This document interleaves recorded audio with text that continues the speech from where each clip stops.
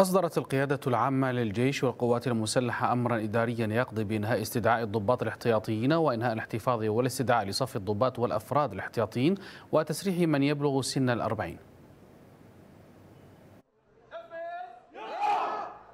تتواصل التغييرات المثيرة للتساؤل في الهيكلية الأمنية والعسكرية السورية برئاسة بشار الأسد الذي يعد من وجهة نظر أغلب السوريين مسؤولا رئيسيا عما جرى في البلاد خلال أكثر من عقد. فبعد سلسلة من التغييرات في المناصب العسكرية والأمنية يواصل الرئيس السوري إصدار قرارات ذات شأن متصل مثل تلك المتعلقة بالخدمة الاحتياطية والتسريح في القوات الحكومية والتي باتت أحد أبرز أسباب هجرة الشباب من البلاد. القيادة العامة لقوات الحكومة السورية تصدر أمرا إداريا جديدا يقضي بإنهاء استدعاء الضباط الاحتياطيين وإنهاء الاحتفاظ والاستدعاء لصف الضباط والأفراد الاحتياطيين إضافة لتسريح من يبلغ سن الأربعين وفق شروط معينة. ووفقا لوكالة سانا الرسمية فإن الأمر الإداري ينهي استدعاء الضباط الاحتياطيين المدعوين الملتحقين اعتبارا من بداية الشهر المقبل لكل من يتم سنة وأكثر خدمة احتياطية فعلية حتى الثلاثين من هذا الشهر ضمنا. كما يقضي القرار بإنهاء الاحتفاظ والاستدعاء لصف الضباط والأفراد الاحتياطيين المحتفظ بهم والمدعوين الملتحقين اعتبارا من بداية الشهر المقبل تموز يوليو لكل من يتم ست سنوات وأكثر خدمة احتياطية فعلية حتى نهاية الشهر الجاري ضمنا. القرار تضمن كذلك إنهاء الاحتفاظ والاستدعاء لصف الضباط والأفراد الاحتياطيين المحتفظ بهم والمدعوين الملتحقين اعتبارا من الأول من الشهر القادم لكل من بلغ سن الأربعين ويتم سنتين وأكثر خدمة احتياطية فعلية حتى نهاية الشهر الجاري ضمنا والتسريح لاحقا لمن سيبلغ سن الأربعين ويتم السنتين خدمة احتياطية فعلية. وسبق لقيادة القوات الحكومية أن أصدرت مثل هذه القرارات عدة مرات منذ العام الفائت تزامنا مع حديثها عن التوجه لتشكيل ما أسمته جيشا احترافيا يعتمد على التطوع ضمن عقود محددة. وتأتي هذه التغييرات في وقت يشير مراقبون إلى احتمالية صدور قرارات أخرى تتعلق بهيكلية القوات الحكومية. يرى مراقبون أنها تأتي في استراتيجية معينة لدمشق.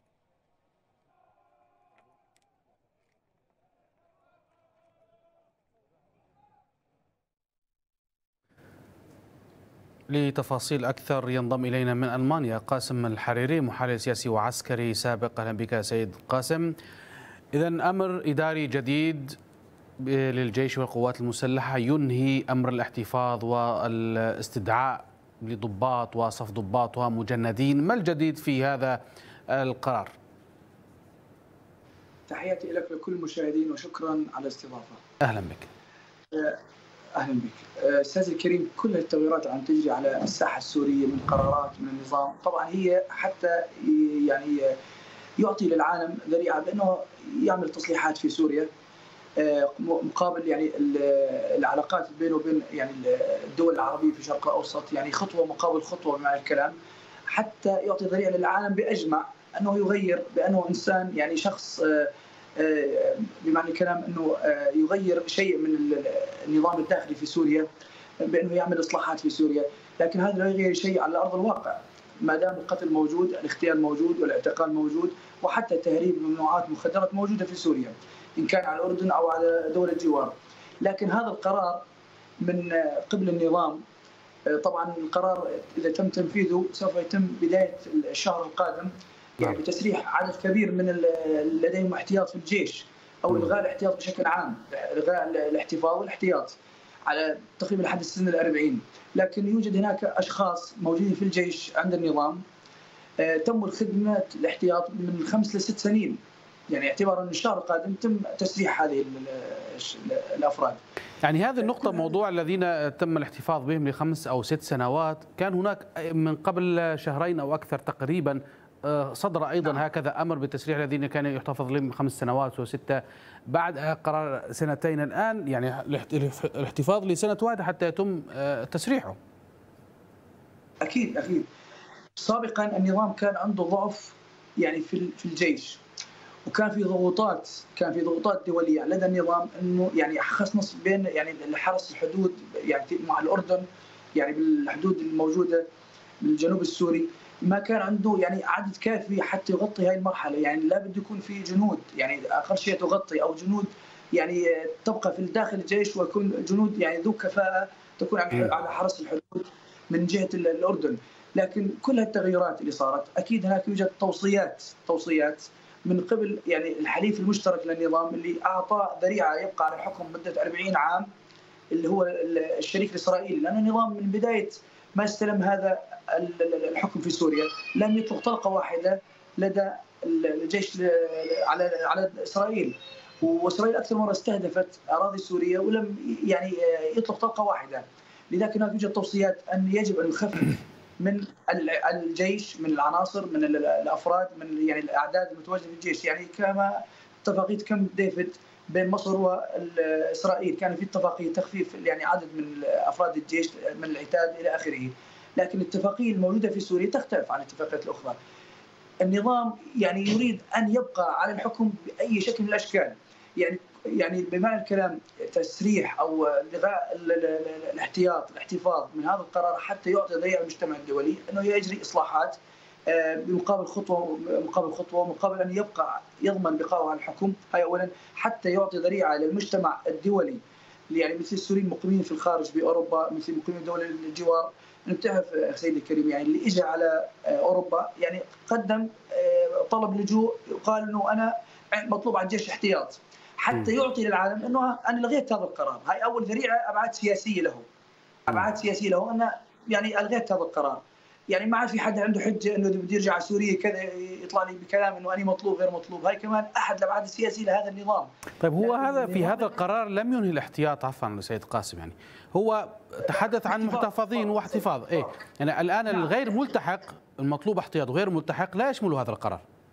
أكيد لا يشمل القرار. نعم. أنا أقصد آه، عن الاحتفاظ في داخل الجيش حاليا. يعني بمعنى الكلام كل هالتغيرات اللي بيجريها النظام حكيت لك بالبداية إنه يعني أبعاد سياسية له وبنفس نعم. الوقت هو استغنى عن هذه العناصر لأنه لا يوجد عنده ميزانية كافية حتى يطعم هذه الأفراد. يعني هنا أنت تتحدث عن عدة أسباب منها موضوع نعم. سياسي موضوع آه، آه، يعني آه، رغبة ربما عند ميزانية ميزانية لوزارة الدفاع. وأيضا وهذا أحد الأسباب. يعني الآن الميزانية أكيد. تؤثر على موضوع العدد الكبير من الجنود والضباط حتى يتم تسريحهم. أكيد. وهناك يوجد وصايا يوجد وصايا سيدي الكريم آه. من يعني الحليف المشترك لهذا النظام. يجب أن تخفف من الجيش من عندك. خلص أنت وصلت لمرحلة معينة وتم إثباتك عن الحكم يعني حقيقة استغربت ولفتني موضوع عندما تحدثوا انها توصيات من آه، حليف إسرائيل توقعت أن تقول روسيا ايران ربما تتدخل في هذا الأمر. طيب ألا يوجد هناك تدخل من قبل روسيا وإيران بالنسبة لإعادة هيكله الجيش؟ دائما يوجد أول شغله القرار في سوريا ليس بيد بشار يعني بوحده. هناك يوجد قرار دائما إيراني يوجد قرار روسي ودائما لا ننسى هناك يوجد صراع إيراني روسي. يعني إذا هم متفقين على شيء على الأرض أمام م. العالم لكن من تحت الطاولة يعني بالخفاء يوجد خلافات. لكن إعادة هيكلة الجيش يعني جيش يكون نوعي ومدرب بمعنى الكلام. ويعني إلغاء الاحتفاظ في الجيش أنا كلمتك أكثر من مرة النظام قالت له إيران أنت يعني بمعنى الكلام هاي اتفاق ما بينه وبين الإيرانيين بالذات أنت تسرح تلغي الاحتياط ونحن نأتي لك من ميليشيات من الخارج. هو ليش بده الاحتياط من الأساس؟ الاحتفاظ بالجيش وعنده ميليشيات تغطي الجيش بكامله. يعني عنده ميليشيات عراقية يوجد عنده ميليشيات أفغانية باكستانية آه، إيرانية عنده من لبنان وعنده ميليشيات فلسطينية. يعني شو هو بده كل هالجيش الموجود عنده؟ أول شغلة ما عنده إمكانية يغطي. من ناحية الميزانية من ناحية اللباس والعتاد وكل شيء يعني ما عنده إمكانية. آه، يعني بمعنى الكلام كان مرحلة معينة احتفظ بالجيش حتى يعني يغطي يعني الأماكن الفارغة بالنسبة لدول الجوار الحدود لأنه لا يجوز أن يكون عنده مثلا ميليشيات على حدود الأردن وسابقا الأردن كشفت أنه يوجد ميليشيات تلبس زي العسكري وهي ميليشيات أفغانية عراقية لبنانية انكشفت. لذلك هو حاول يحتفظ بكم هائل من العناصر حتى عندما اكتشف أمره صار هون وقت التسريح صار وقت يعني تغيير هيكلة يعني أو بالأحرى يعني آه، توقيع عقود مع النظام بتطويع يعني عناصر يعني من بنتهم للموالين النظام يعني في تغييرات منها يعني مسألة النظام الداخلي عنده ومسألة له أبعاد سياسية حتى يقول للعالم باجمع أنا اعمل اصلاحات بدل ما يعمل يعني احتفاظ في الجيش وتسريح يبني يعني يعني البنية الداخلية في سوريا البنية التحتية لسوريا إعمار ما حد ما عمل شيء طيب ليش ما يعني بدل ما يعمل هالشيء شيء بمعنى الكلام الاحتفاظ ليش ما خرج المعتقلين؟ مش هو خطوة خطوة عم بيعمل عم بيعمل هيكله للجيش باتفاق يعني آه، مع الوصي ونفس الوقت مع الإيرانيين أو مع حتى الدول اللي قالت له خطوة خطوة مش الاوجب عليه إنه يعمر يعمر البنية التحتية لسوريا أن يخرج المعتقلين. طيب ليش لحد الان ما شفنا ولا معتقل خرج من سوريا ولا في يوجد أي إفراج للمعتقلين. طيب إحنا نعرف وين مصير المعتقلين؟ اليوم نسمع إحنا سيدي الكريم آه، على قنوات النظام السوري قنوات نسمع في مشاريع آه، اقتصادية منتجعات سياحية في طرطوس مطاعم في دمشق فنادق في دير الزور. يعني بدل ما يعمل كل هذا هذا كله يصب لصالح جيب النظام. هو يعمل كل هالشيء التغيير الداخلي فصل الحزب عن الدولة عن النظام الداخلي حزب البعث آه، إلغاء الاحتفاظ يعني بيعمل تغييرات لا تؤثر شيء على نظام الحكم تبعه الداخلي هو مجرد تغيير يعني تكتيكي حتى يبقى على الحكم أمام العالم وحتى يقال أنا عم بغير وعم بصلح وعم بعمل كل شيء لكن بالأرض هو يعني ولا غير شيء في جوهر المسألة باعتقادك سيد قاسم حضرتك عسكري سابق يعني آه، إعادة نعم. هيكلة الجيش والحديث عن جيش احترافي كما سماه. جيش منور. أي هل هذا الأمر بهذه السهوله وفي هكذا ظروف؟ يعني ما زالت سوريا هي في حالة آه، حرب داخلية. حرب. نعم. هل يمكن الحديث إذا عن اعاده هيكلة وإنشاء جيش احترافي؟ هنا النظام ماذا يفعل الآن؟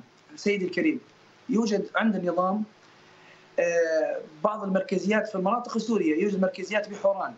يوجد مركزيات مثلا بدمشق. يعني يوجد مثل ما يسمى هو المركزيات تابعين مثلا الفيلق الخامس في شيء شيء تابع الفيلق الخامس.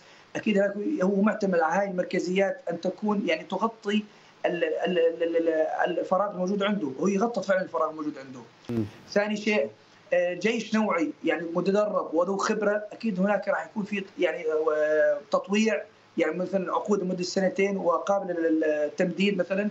بتدريبات بكفاءات برواتب معينة لكن اللي آه، تم استدعائهم مع الجيش بالغصب يعني بمعنى الكلام أو التجنيد الإجباري. الفترة الأخيرة. نعم؟ تقصد التجنيد الإجباري يعني. التجديد الإجباري، التجديد الإجباري لحد الآن ما التقى بسوريا، حتى الاحتياط ما التقى، هو لغى الاحتفاظ بالجيش اللي يوصل سن يعني عمره لحد ال 40 أو أقل أو أكثر شوي، حتى في ناس وصلت عمره فوق ال 40 لم يتم تسريح هذه نعم. الأفراد. يعني بمعنى الكلام أخي الكريم بهذه الفوضى الموجودة في سوريا لدى النظام ولدى النظام الداخلي إن كان وزارة الدفاع حتى كمان تشمل يعني وزارة الداخلية كمان لها دور كبير يعني بتغطية الأماكن الفارغة لأن كمان وزارة الدفاع والوزارة الداخلية كانوا هم يعملون في خندق واحد يعني من ناحية الأمور الأمنية من عدة أمور.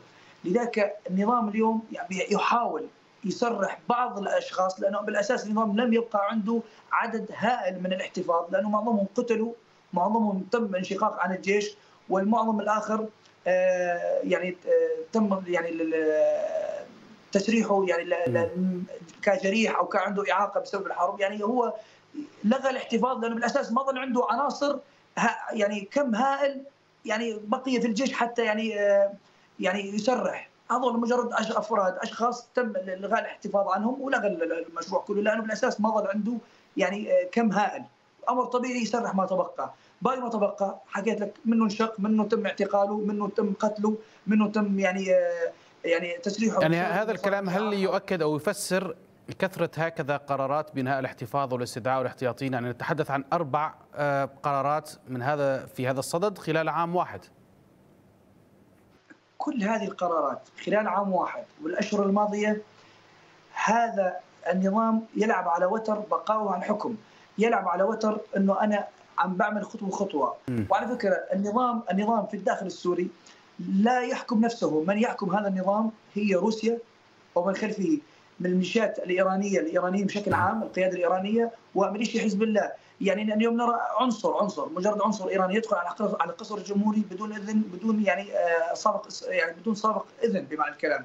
النظام لا يعني يمون عليه شيء. هي مجرد تغييرات بسيطة تكتيكية نعم. بس طيب. لأبعاد سياسية أمام المجتمع الدولي. فقط لا غير يعني. أما الأرض الواقع لم يعمل شيء. ما دام القتل موجود ما دام الخطف موجود الاعتقال موجود تجارة المخدرات موجودة ودائما نسمع حتى يعني يوجد زعزعة كبيرة في الجنوب السوري وعلى مستوى سوريا لا يوجد أمان يعني. ما, ما عنده قدرة أصلا يستحكم في سوريا. لكن هذه التغييرات هي مجرد يعني مصالح شخصية طيب. ابعاد سياسية مقاومه الحكم نعم. والوصي الإسرائيلي قال له يجب أن تخفف وتغير هيكله الجيش عندك مقابل تبقى على الحكم طيب. هذا يعني خذها بمكان المصداقيه كلام طيب أشكرك جزيل الشكر من ألمانيا قاسم الحريري محلل سياسي وعسكري سابق